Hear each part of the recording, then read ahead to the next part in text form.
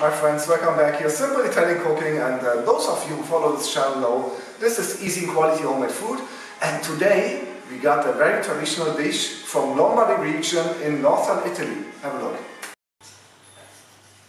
Wow, look at this.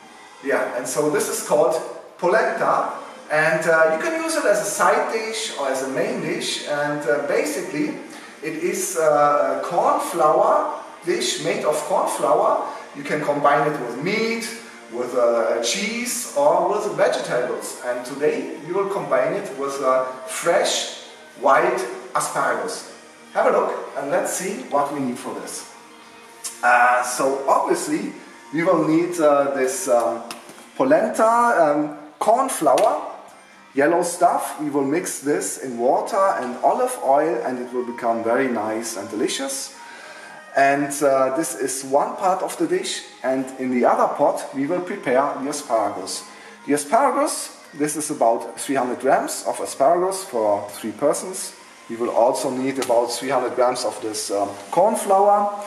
What else we will need? Uh, our best friend olive oil, of course. We will add a little shot of um, white wine, a little bit of butter for uh, the polenta, perhaps two, um, two small uh, tomatoes for the asparagus, salt, black pepper, a bit of black salt, and um, also as topping some slices of uh, this Parmigiano Reggiano. And that's it. Okay, my friends, so uh, uh, talking about cooking times, um, the polenta will need about 45 minutes of cooking, while the asparagus will only need 15 minutes, but we will have to do some pre-work. And pre-work with the asparagus means we will cut the bad part. So you see, there's some asparagus that have a long uh, bottom part that is white, so we will have to cut this all because this tastes bitter and is not so easy to, uh, to chew.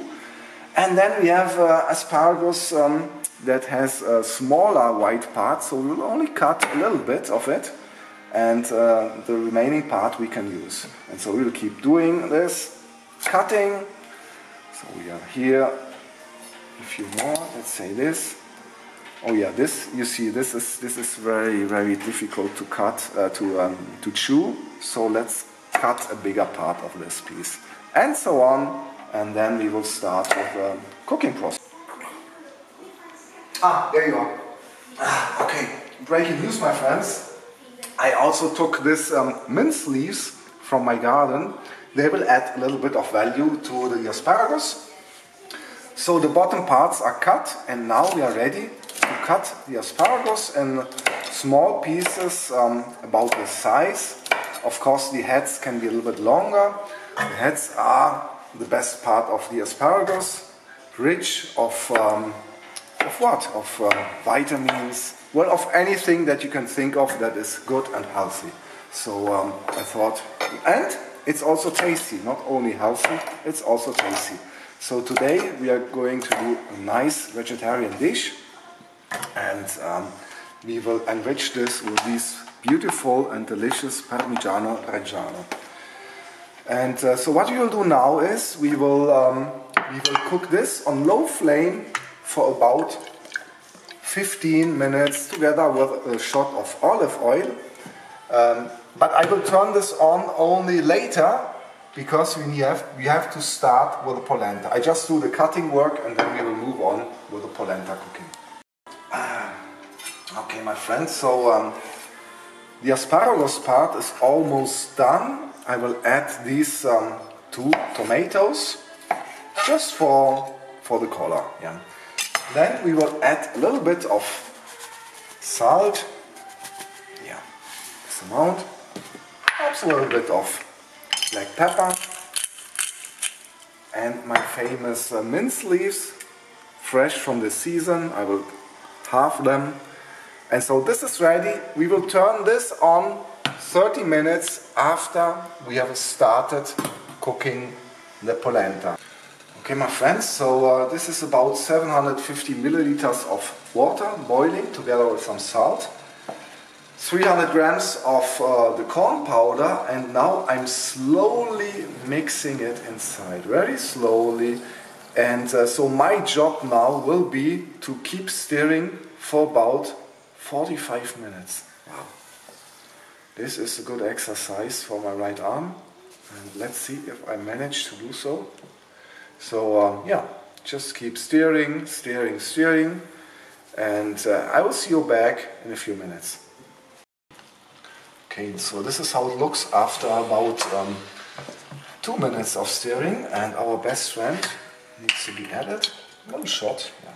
So this will add some value and let's keep steering. Okay, breaking news my friends. I've realized we need a little bit more water, so uh, let's say one liter of water, 300 grams of um, corn flour, that will be the right mix. And I will also add a little bit of this beautiful butter to make it um, a bit more creamy in addition to the olive oil. And let's um, keep stirring for. Okay, my friends, a few more minutes have passed and I've added a few more shots of olive oil into this polenta. And yeah, it smells good. I think I can do a little quality check.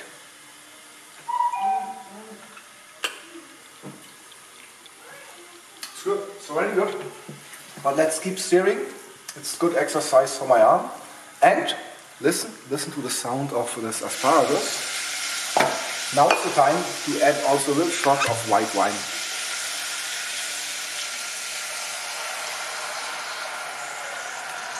And let it keep cooking on low flame. So this is really, really hard work here. Stirring for about 30 minutes. Uh, really tough. And so here we got, um, oh my god, here. This, this is really nice taste. So I think, I think it's almost ready, the asparagus, yeah. Yeah, I think we are ready to prepare the plates. Okay, my friends, so um, I managed to get this uh, beautiful round shape of, um, of the polenta. My trick was I put it into this, um, into this um, plate, turn around, and then um, press a little bit with uh, the spoon. And so we got this nice cake shape, round cake shape. And now we're ready to add on top the asparagus. Yes. And also this beautiful sauce of white wine and olive oil. Yes. Okay, and so now we can also add a few pieces of um, Parmigiano, yeah, like this, and a little bit of my famous black salt. That's it. Wow, at this. So this is polenta, white asparagus, Parmigiano Reggiano, a few tomatoes, olive oil.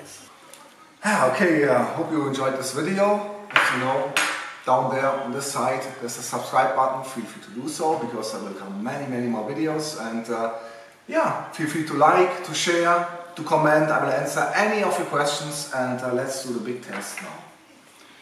Wow, so I will get this guy, a little bit of Parmigiano and of course polenta.